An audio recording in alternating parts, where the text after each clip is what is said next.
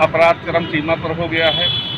महिलाओं पर, बच्चों पर, दलितों पर चारों तरफ़ अन्याय दिखाई दे रहा है, जिसको आप ये महसूस कर सकते हैं कि जब लोकतंत्र के चौथे स्तंभ मीडिया के ऊपर भी जब अपराधियों का हौसला इतना बुलंद है कि उनको भी नहीं छोड़े, जैसा कि आप देख रहे हैं कि पत्रकार विक्रम जोशी जी अपनी भांजी के ऊपर जब जो है, जो अन्याय देखा उन्होंने एफआईआर दर्ज कराया तो अपराधियों का हौसला इतना बुलंद है इस सरकार में कि विक्रम जोशी को भी, की भी हत्या कर दी, उनको भी नहीं बख्शा। इससे स्पष्ट हो जाता है कि आज वर्तमान सरकार में जंगल राज कायम है।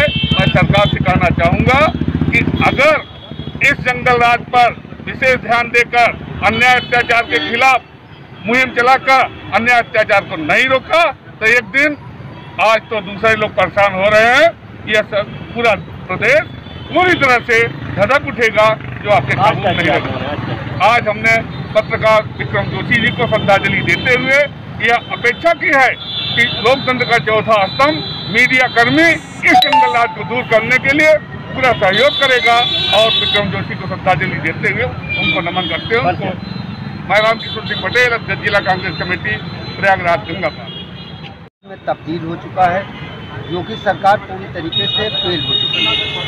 जिस तरीके से विक्रम जोशी जी एक पत्रकार थे और उनकी भांजियों भांजी को छेड़छाड़ किया और उन्होंने विरोध किया।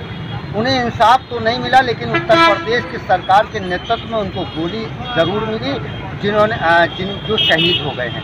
हम कांग्रेस जन पूरे उत्तर प्रदेश में जंगल राज का विरोध करते हैं और आज विक्रम जोशी जी के श्रद्धांजलि देने के लिए हम लोगों ने मोमबत्ती जलाकर उनको श्रद्धांजलि अर्पित किया है। और उत्तर प्रदेश सरकार जिस तरीके से पूरे उत्तर प्रदेश में जंगल राज है श्री महामहिम राज्यपाल जी से मांग करते हैं कि इस उत्तर प्रदेश सरकार को तत्काल प्रभाव से बर्खास्त किया जाए और राष्ट्रपति शासन उत्तर प्रदेश में लगाने का काम किया जाए। नफी शर्मा नगर अध्यक्ष कांग्रेस कमेटी इलाहाबाद। गाजियाबाद के पत्रकार विक्रम जोशी की हत्या के विरोध में जिला और शहर कांग्रेस के के पदाधिकारियों ने सुभाष चौराहे पे उनको श्रद्धांजलि अर्पित किया।